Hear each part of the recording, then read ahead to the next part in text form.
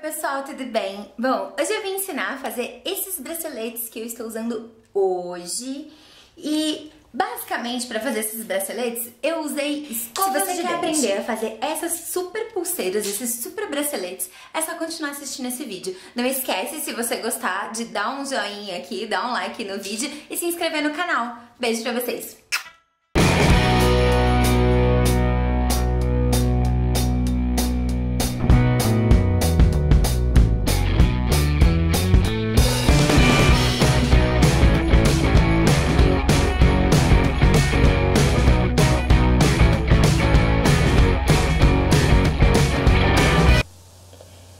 Escova de dente, bem limpinha de preferência, é, eu vou pegar o alicate com a ponta quadrada e vou tentar puxar cada um desses chumacinhos de cerdas, sabe? Então você pode dar uma torcidinha para ajudar a tirar. Olha, dói um pouquinho a mão, não é tão fácil. Uns saem mais fáceis, outros não.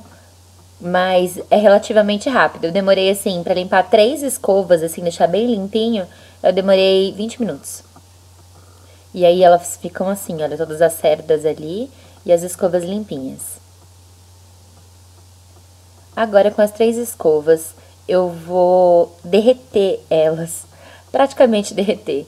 Eu vou amolecer esses cabos de acrílico, né, dentro da água fervendo. Então, olha, com esse pegador de macarrão aí, ou de salada, na verdade esse é de frios, mas enfim, é, fica mais fácil para você mexer e não se queimar. E a água tem que estar tá fervendo mesmo, borbulhando, tá? Quando você tira, ele fica meio derretidinho. Não tem um tempo certo, você tem que ficar tentando ver se ele já amoleceu. Depois, com a ajuda de um pano numa ponta e com a outra ponta o pegador, você vai fazendo o formato de um bracelete mesmo e deixa um pouquinho aberto, porque vai facilitar na hora de você colocar no seu braço, como um bracelete mesmo.